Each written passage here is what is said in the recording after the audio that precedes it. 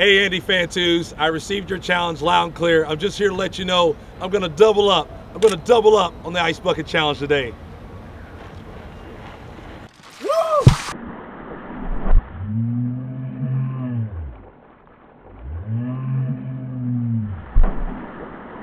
Ah, yeah! Ah!